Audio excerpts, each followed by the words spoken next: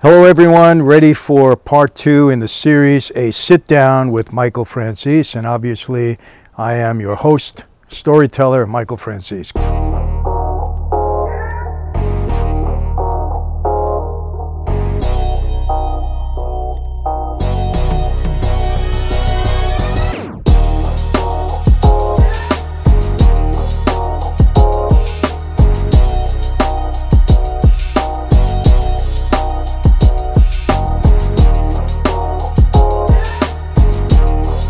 Be back and um, ready for another story. You know, uh, how many of us realize that who we are today had so much to do with who we were as young children, who we were, you know, as young adults in our teenage years, our formative years, how much of an impact our families had on us, uh, our lack of family relationships had on us. I certainly realized through the years uh, just how important my family was in my formative years and what it all had to do with making me, in part, who I am today. You know, my father was a tremendous figure in my life. Um, he had a tremendous impact on me. Some may say in a bad way. I certainly believe it was mostly in a good way. Good dad, taught me a lot despite the fact that uh, he was a, a member of organized crime. You know, and that hit home even more. Um, I remember being in prison. I was in prison in Terminal Island, California. By the way, if you have to do time, one of the better places to do time. But you know, during my time in prison, because I had somewhat of a reputation and name, highly publicized, a lot of people would come to me for advice on business and just, you know, about their case. They'd ask me for help and so on and so forth. And I tend to, um, you know, I tend to get closer to a lot of the young people. And I'll never forget, there was a young black boy there. He was uh, about 23, 24 years old. Good kid, not going to mention his name, but always in trouble in the yard. But he used to come to me all the time. He should call me Mr. Mike. Mr. Mike, you know, I got some things going on in my life. He would ask me advice, very concerned when he got out of prison, what he was going to do, you know, talk to me about his crime at the time. And uh, we used to go into the visiting room quite a bit. I got a lot of visits, and his mom would come and visit him quite a bit. And I'll never forget, his mom loved this kid, and he loved his mom. He really did. And she would come there, and I don't know if you know what the visiting is like when you go into federal prison. Not easy for the visitors. You know, most of the time they got to stand online for an hour, maybe two hours, you know, before they finally do get in and see the inmate. Uh, once they do get in, normally they'll run to the vending machines and buy whatever's in the machine so that when the inmate comes in, they'll sit down, they could eat and drink together, so on and so forth. Drink sodas, not, you know, drink together. And, uh, you know, this kid used to look forward to the visit. And his mom used to come with, I, I, remember, three young kids that she used to bring with her. Didn't have a dad, so it was just a single mom, but she was so religious in visiting this man. And I know it, it was tough, you know, for her to get there. I found out she worked two jobs, you know, the whole bit. Well, this kid used to get in trouble quite a bit.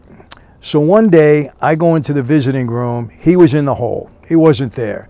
Now, normally they don't tell the visitor what's going on with the inmate. So they make them wait for two hours online, go in there, get to the vending machine, ready to sit down sometimes, and then they come out, oh, by the way, your uh, uh, inmate can't have a visit today for whatever reason. He's in the hole, he's in lockdown, he's sick, whatever. So this one particular visiting day, I remember he got himself in trouble, something silly, either had a fight on the yard or maybe had some contraband, extra cereal in his uh, locker or something like that. And uh, so he was in the hole. So I go into the visiting room and his mom comes in. Now you got to understand, sometimes they don't tell the visitor that the inmate is not going to be able to make the visit for whatever reason, whether he's sick, in the infirmary, in the hole, whatever might have happened. So she comes in after waiting two hours online. She's dragging the three young kids with her. She goes up to the vending machine. Uh, she starts to buy, uh, you know, some things out of the machine. And I walk up to her right away and I said, "Hey, I'm sorry, but your son is probably not going to make the visit. Got himself in a little situation. He's in the hole, and you know, I- I'm really sorry." And well, she starts to cry. She breaks down. She says, "You know, Mr. Mike, call me Mr. Mike also." uh, do you watch him in there? And I'm trying, you know, to so hard to straighten him out. And, you know, he's my oldest. And she went on and on and on. She was so upset. She really was. But she left. I had my visit. I go back. about maybe four, five, six days later, he comes out of the hole and he comes to see me in my, you know, cell. Hey, Mr. Mike, I'm out of the hole, and uh, I said, come here, I want to talk to you. He comes over. I said, I want to ask you a question. He says, what? I said, do you love your mother? He said, oh, yeah, I love my mom. You know, she's the greatest. I love my mom. And I looked at him and I said, you know what? You're a liar.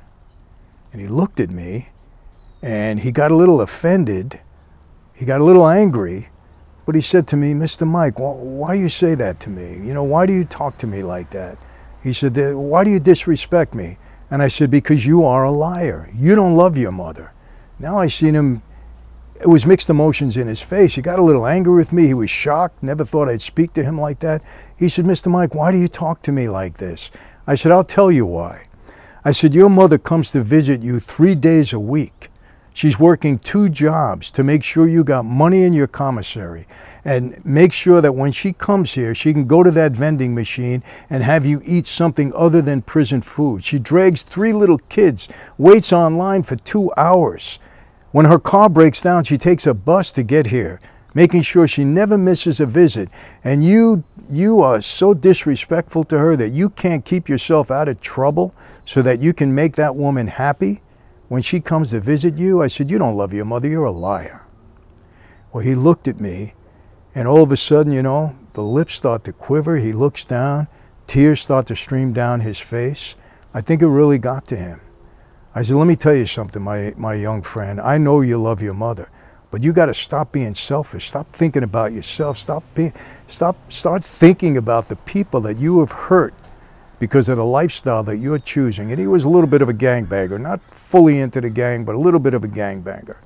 And I think it really had an impact on him. He didn't have a father. And I can tell you, people, a father figure is so important in a house. My, my father looms so large in my life and in my house. And that's why I tell people today, you know, we can't blame some of these young kids for growing up like, you know, like little wild things because they don't have a father figure in the house. They have their mom trying to do their best. She's got her own situations.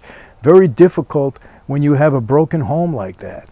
And I think as adults, we owe it to these young people to try to guide them and try to give them, uh, you know, counsel in their lives because we created, okay, the society in which they're living. It was us. It was our laws. It was our atmosphere that we created here in America for these young kids, not only in America, but all around the world.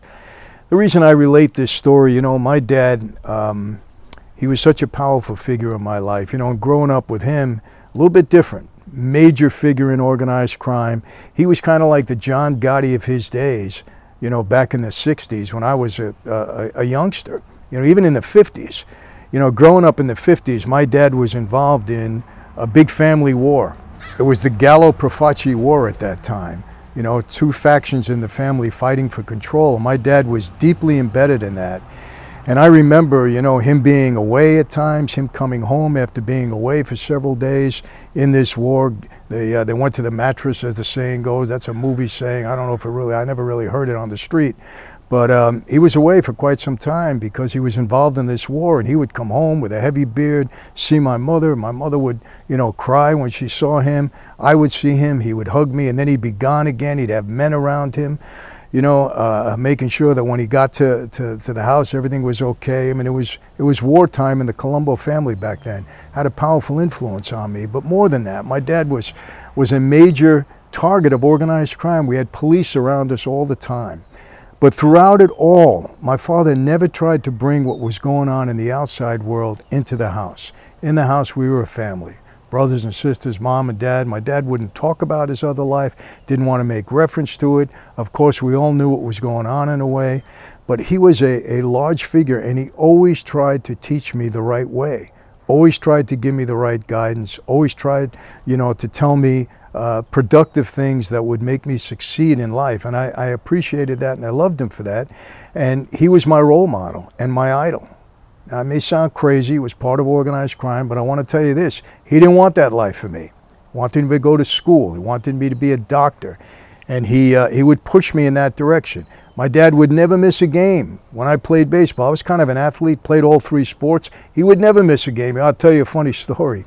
Uh, when I was playing ball, and I was always be looking for my dad. He'd always come late, you know, but I always be looking for him when I was on the field.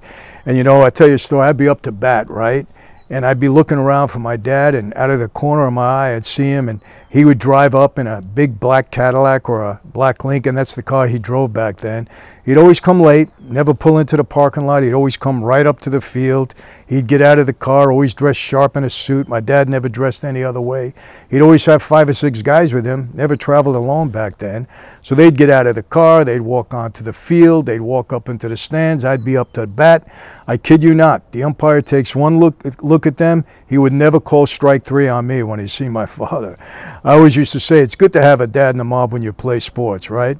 But he was great in that way. So he tried to support me in every which way he can. Wanting me to go to school, be a doctor. Son, you're going to be the first professional. I watched how he treated my mother in many ways. I watched how he treated my sisters. You know, he's very strict with them.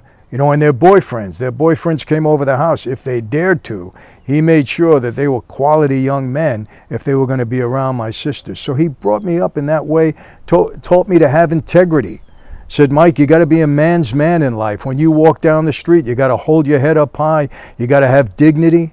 He said, learn how to try to keep your word as much as you possibly can. He gave me good teachings in life, brought me up the right way. So he was a tremendous figure, and he had a big part in in uh, in making me the person that I am today, good or bad, and I think mostly good. And I and I attribute that a lot to my dad. Now, later on in life, you know, we had our differences, so on and so forth, but I always loved him, and he always loved me. He was a great father. And, um, you know, I saw some things, you know, he, he was a strong presence in the house. Some of the stories, you know, I got to tell you this about my dad. He was cheap, man. He was old school. He didn't like to spend money. He wanted to save every dollar that he made. My mother, just the opposite.